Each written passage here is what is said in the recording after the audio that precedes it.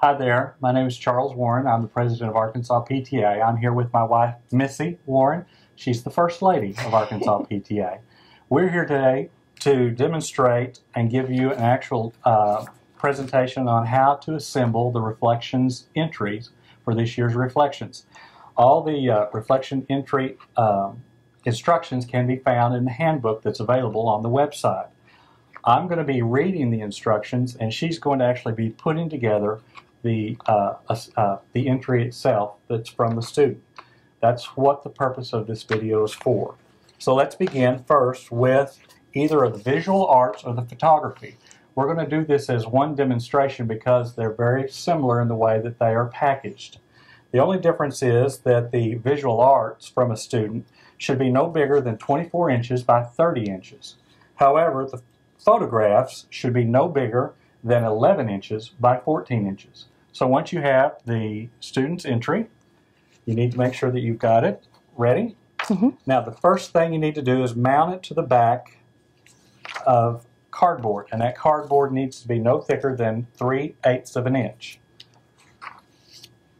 And you do, how do you mount that?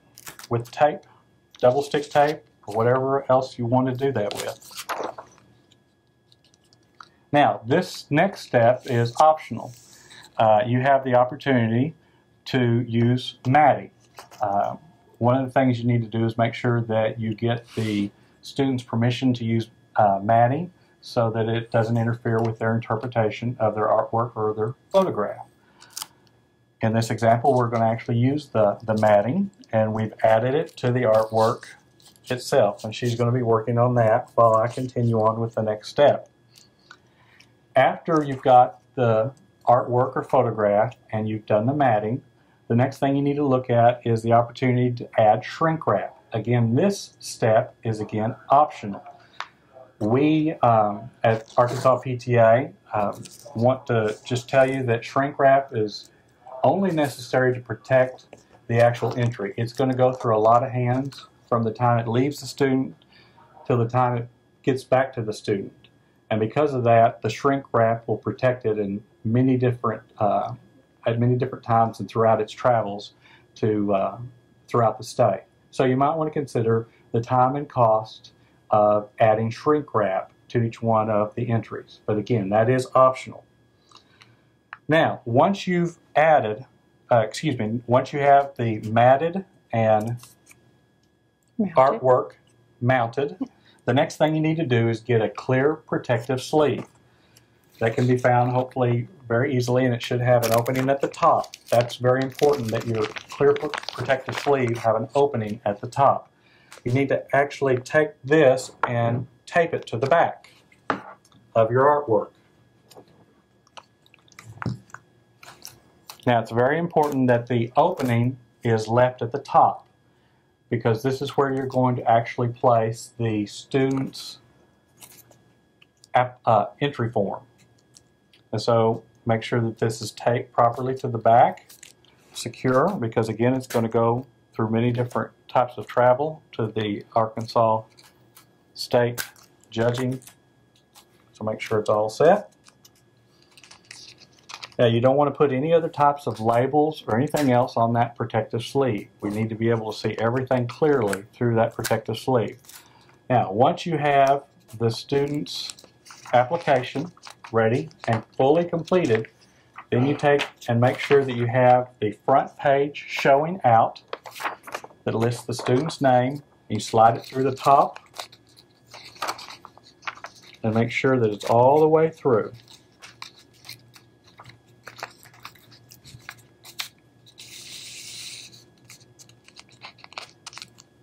Once it's all the way through, fully secure, you now have a completed entry form ready to go to Arkansas PTA, and hopefully it's going to be a winner, and it might even go all the way to National PTA. Thank you. Okay, our next assembly will be for literature. The first thing we need to do is make sure that your literary work is on 8.5 by 11 paper.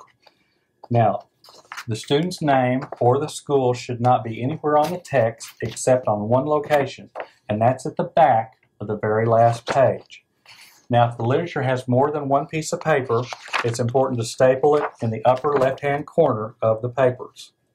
Now, it's also important that if you want a copy, a photocopy of this literature, you need to make it yourself at this point because the literature will not be returned from Arkansas PTA. So make sure to make a copy before you submit it to Arkansas PTA for the Reflections program. Now, once you have your literature work ready to go, you, find, you, you place it inside a manila file folder. Now, if your manila file folder actually has a tab, and that's okay to use one that has a tab, make sure that you put the tab in the back and you place it face up. Now you need to get that same uh, clear plastic sleeve that we used previously. It should be very available. And you are going to staple it to the front of the manila file folder. Again, you want the opening to be at the top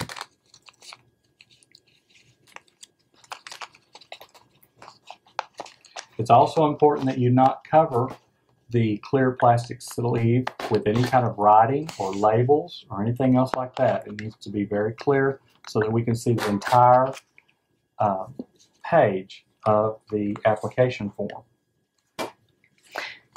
Helps helps if you know how to use a stapler. Okay. Well, it may take a couple of practices, but once you get it, you'll figure out how to do it pretty easily.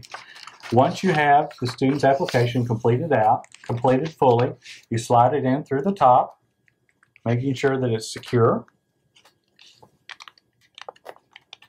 Now you don't want to, hang on, you don't want to make sure you don't want to staple the actual application form. That's important because at Arkansas PTA, we're going to be pulling that in and out, uh, turning it over for the actual judging competition. So it's very important that you don't staple the actual page to the uh, to the sleeve.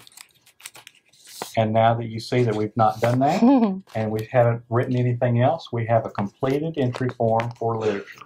the front. Nothing on the back. Thank you. You don't have to staple it. We looked at the instructions again. If you feel like you can tape it better and easier than using a stapler, then feel free to tape it to the uh, manila folder instead of stapling. It's your option. Whatever you feel more comfortable with and what makes it easier, just feel free to do that. Thank you. Okay, we're going to be working on the music competition or the music composition Competition. Yes, competition. Thank you. Now, for the music composition, it should be recorded on a CD. And it's important to place the CD in a CD protective sleeve or a case. It's your option. Make sure that you make an extra copy for the student or yourself because the CD will not be returned to the student. Now, for middle school and high school level entries, it's very important that you also provide a written score. This is for the judges so that they can actually read the score. The written score is not required for the lower level of uh, schools, but it is required for the middle school and high school entries.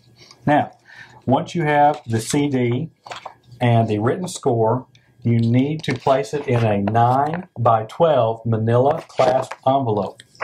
Once you've set both the CD and the score, if it's required, in the envelope, you can close the clasp.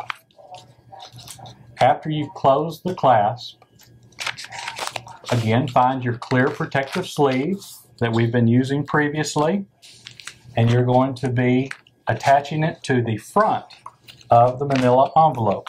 Again, making sure that the top is the open portion so that you can slide the student's entry into the top. So Missy is taping down the clear protective sleeve. And this one should be a little bit easier because you should have enough room on the sides because it is 9 by 12. And so you have a little bit room to, to work. Again, remember, do not put any labels or any other kind of writing on the clear protective sleeve. Once you have the completed form from the student, slide the form all the way down into the protective sleeve, making sure that it's clearly visible throughout, and you're done and ready to turn into Arkansas PTA. Okay, for our next set of instructions, we're going to actually be looking at both the film production entries and the dance choreography entries. They're very similar in the way they're put together, and so we're going to be looking at them both with the same set of instructions. The film should be recorded on a DVD, and the DVD should be placed in a DVD sleeve or a case. Now, in terms of the dance choreography, you need to video the actual choreography on a DVD.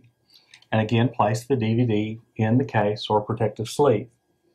Now you want to take the protective sleeve and place it in a 9 by 12 inch manila clasp envelope. After you've placed it in there, you need to close the envelope.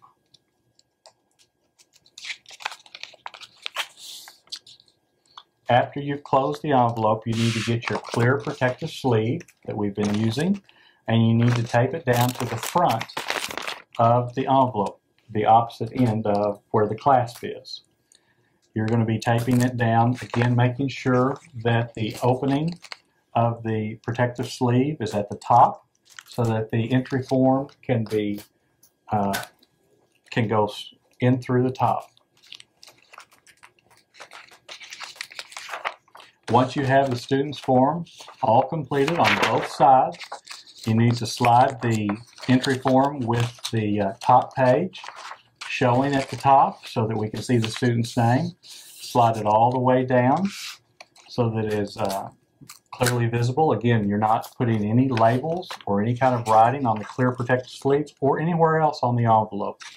Once you've got that together, you're all set and you're ready to turn in either your film production DVD or your dance choreography DVD.